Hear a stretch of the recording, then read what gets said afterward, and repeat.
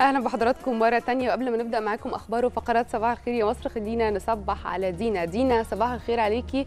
أخبار الجو إيه بقى؟ الجو بقى حلو. وبعدين أه. وإحنا داخلين كان الجو كنا بردانين قوي أنا وانت صح. صباح الخير يا جمانة صباح الخير يا. حسام صباح الخير على كل المصريين في كل مكان. فعلا الجو بقى برد شوية في في لسعة برد. آه يعني حتى وأنا واقفين أنا وهي وإحنا بنركن إحنا سقعانين أنت حران ولا إيه؟ لا الجو حلو. لا هو أه. مبسوط عشان الجو. ابتدى يبقى يعني يبقى برد يعني شوية. الواحد يقدر كده ينزل يتمشى في, في الشارع. نفس عارفة اخد آه نفس. نتمشى يعني دلوقتي نقدر نتمشى في الشارع بدون ما يعني يعني يحصل لنا ضربة شمس بدون ما نبقى قرفانين وحرانين. وحرانين وزهقانين ورطوبة عالية ورطوبة عالية. لا يعني دلوقتي جو جميل كده خريفي لطيف. أنا كمان هقول لكم إن الجو فعلا جميل النهارده. خلونا مع حضراتكم نستعرض جولة سريعه عن أحوال الطقس النهارده. هيكون معتدل على القاهرة الكبرى والوجه البحري والسواحل الشمالية.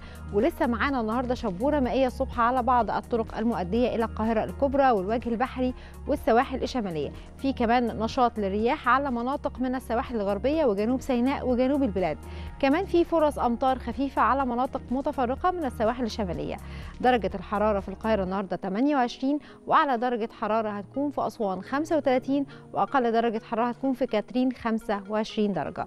هنتابع مع حضراتكم الطقس بالتفصيل بعد شوية لكن خلوني أرجع مرة تانية لحسام وجمانة علشان نبدأ فقرات صباح الخير يا مصر.